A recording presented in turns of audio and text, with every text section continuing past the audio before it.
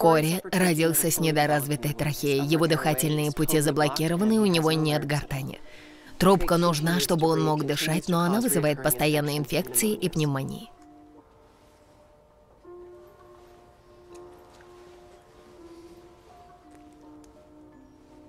Он говорит, что ему щекотно. Прости. Иначе никак, но я сделаю все быстро. Зачем вы жестикулируете? Он нем, но он не глухой. Чтобы помнить о том, через что он проходит. Что он сказал? Что когда мы сердимся, то не жестикулируем, а кричим. И когда играем вместе в футбол. Держи свою комнату в чистоте, хоть иногда отдавай мяч отцу, ему не придется кричать. Хорошая новость, легкие чистые, инфекции нет. Слава богу. Но важнее то, что он отличный кандидат для операции.